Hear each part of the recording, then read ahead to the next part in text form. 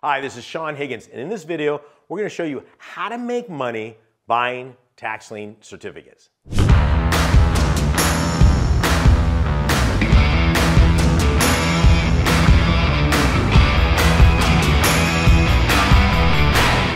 Have you ever wondered who's buying all these tax lien certificates? Is it the big bank? Who are they anyways? They needs to be you, and in this video, we're gonna show you how to do that. In this video, not only are we gonna show you how to make money buying tax lien certificates, we're gonna show you how to financially thrive and provide financial independence for you and your family. And stick around. At the very end of this video, not only am I gonna show you how to make money buying tax lien certificates, I'm gonna show you how to explode your retirement account doing exactly this. Also in this video, I'm gonna show you how to take a very small amount of money and turn it into an extraordinary amount of money. I'm talking about a $100 investment and turn it into thousands of dollars. So stick around and I'll show you how to do that. Okay, in this video, not only am I gonna show you how to make money with tax lien certificates, but we gotta talk about what they are. Because fundamentally, I think a lot of people miss this. What is a tax lien certificate? If you don't understand how it got there, you're not really gonna understand how to make money with it. Okay, so let's talk about the most important thing with making money with tax lien certificates is understanding what they are. Tax lien certificates have been available in this country for over 200 years. That is very important to understand, okay? Because listen, this is your hard earned money. You can't get that money back. And if anybody's ever paid what I call the dumb tax, in other words, done something with your money that you're on, oh, that was dumb, okay, you know that you need to be careful with your money. So let's talk about fundamentally tax lien certificates and what they are. First of all, they're not a fly by night. They're not just popped on here. They've been available in this country for well over 300 years. The oldest tax lien certificate I've ever seen on record was in New York, actually in Brooklyn, New York, dated um, 1698. That's 100 years before we even became a country. I've said before in other videos, Thomas Jefferson, our third president, lost Monticello because he failed to pay off or pay his property taxes. Again, this has got tons of case law. So there's the safety side of it. On top of that, okay, you're gonna make money because the county needs this money. Let's talk about this. What are property tax lien certificates? That's what they are. They're taxes on property that somebody has failed to pay. And the county says, you know, we kind of need our money. Really? Why do you need your money? Because the county functions based on property taxes. Okay, the number one thing that the county is going to be using property taxes for is schools. Probably 55, 65% goes towards schools. Then you've got fire department, then you've got law enforcement, then you've got medical service, then you've got libraries, bridges, I mean, et cetera, et cetera. County needs this money. Okay, so there's that there. Then the county says, okay, we've got to motivate people to pay their property taxes. So if they don't, the penalty or interest rate is going to be substantial. That interest rate can be anywhere from 12% up to 25%, even in some cases, 36% on your money. So think about this for a minute.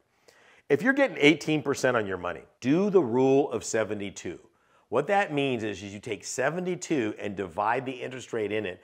That answer, it's just a weird mathematical formula, will tell you how quickly your money is going to double. And at 18%, it's going to happen real quick. So if you put your money in the bank at say 4% and you put your money in at 18%, a $5,000 investment is going to blow up to a half a million dollars real quickly, whereas this other money in the bank is still going to be way down there.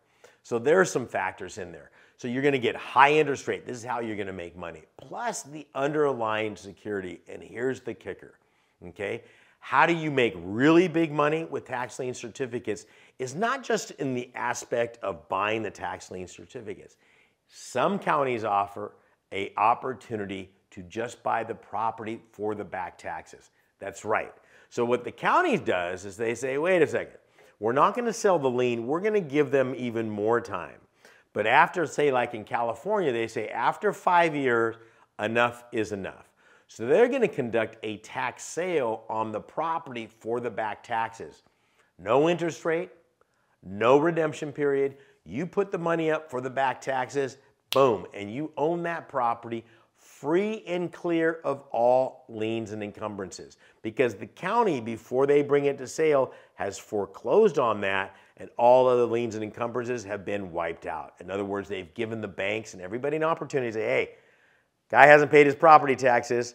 You may have a loan on this, but it's going to go away once we go to sale. So when I walk in there and I put up the money for the delinquent property taxes in that situation, I own the property free and clear. This is how my students and myself are buying properties for pennies on the dollar. Let me give you an example. Let's say I buy a property, it's $238,000. I paid $30,000 in back taxes. I own that property. You're saying, well, what kind of property is it? It's a $230,000 property, ARV, which means after rehab value. I'm assuming I'm going to have to rehab on that property.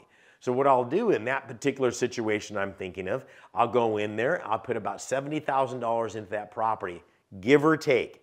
Okay, so I've got $100,000 into the property. I can either sell it for $230,000 or I can sell it for um, $100,000 and make 70 like that. There are so many different exit strategies out there, okay? This is crucial. This is important. You must know what you're doing. So let's backtrack. This video is all about making money on tax lien certificates. What you don't want to do is make any mistakes. And let me tell you something. The mistakes you can make are plentiful. If you're a beginning and novice investor, for instance, I can go in there and go to the sale and not realize I need the money right away. I can sit there and go, what do you mean I got to bid down the interest rate? What do you mean I need to do? Just because there's a lien on a property doesn't mean I want to buy a lien on it. Well, Saen, you just said it's paying 18% and I get the property. But is it a property that you want? Think about this for a minute. What if the property is, I don't know, 10 feet wide and 100 yards long? I don't want that property. That's probably the reason they're not paying the lien on. What if it's in an area I just don't want to buy a lien on? What if it's demolished? What if it's condemned? What if, what if, what if? There's so many things in there that you need to consider before just plopping your money down and said, Saen said, no, no, no. You need to do the research, okay? And there are 10 points. Let me put it this way. The first point that I ever teach somebody is not anything about tax lien certificates, it's what's your objective? What are you trying to create? And once we figure what that is, we understand how many liens, how many deeds, how many properties, how many research we need to do, and everything you need to go with that. And the good news is this you're gonna love this. Okay, I've got a brand new course that I wanna give you for free. You heard that right. Free, Zippo, zero. All you have to do is hit the link down below, higginsmethod.com higginsmethod.com and this is my gift to you. It's a brand new course and it's going to show you how to do all the research and everything else you need on that. This is Saen Higgins saying God bless and good luck.